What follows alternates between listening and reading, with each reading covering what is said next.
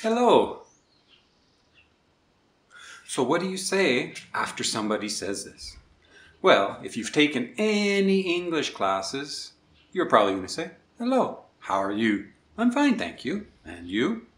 In this video, I'm going to show you four different ways that you can continue this conversation. Plus, one bonus idea on how to start any conversation with almost anybody. So stick around for that.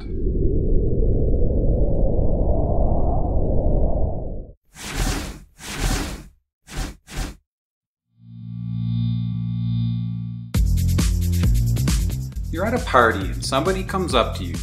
You make eye contact and they say, hello. How do you respond? Well, obviously, you need to say hello as well. But if this is a stranger, a person you've never met before, you want to make a good first impression. You want to continue the conversation. How can you do this? One way to do this is to give a compliment. A compliment is a nice thing that you say about a person. And everybody loves to hear a compliment. Hello, I love your... And then you talk about an object that they have, or their style, or their clothes.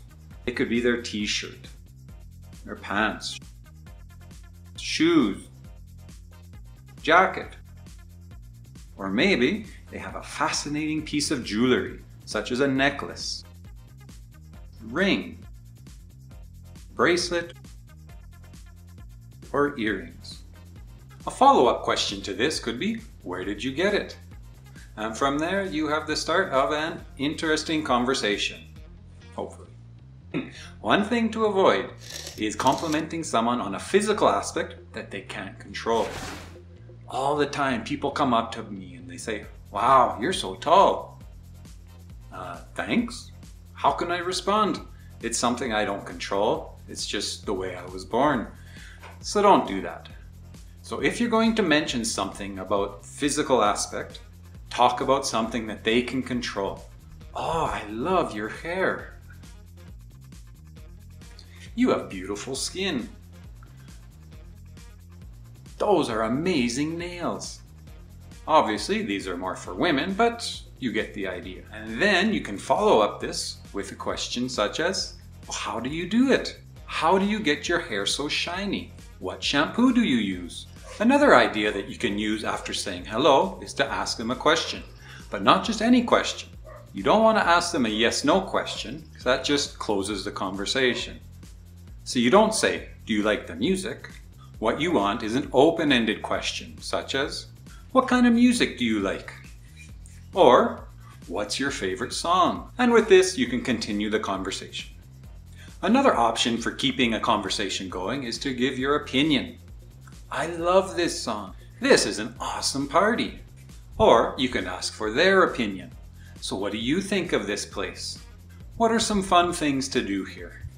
Again, this makes for a more interesting conversation because people love to talk about their opinions. So now for the bonus material that I promised you at the beginning of the video. So now you're in a situation where everyone is together for the same reason.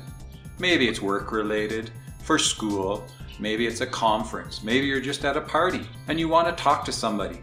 One surefire way to do this is to extend your hand and say, I don't think we've met before.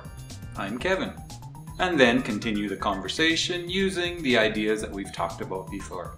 This idea doesn't work on the street with strangers, but if you're with people who are there for the same reason as you, you're supposed to be talking to them anyway. So this is a great way to introduce yourself.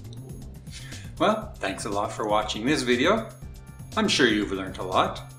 Down in the comments, talk about how you continue a conversation. Everybody has their own ideas. Let's help each other out. As always, if you've enjoyed this, hit that like button and subscribe. It helps everyone involved to keep these videos coming. For ESL Success, I'm Kevin and I'll see you guys next time.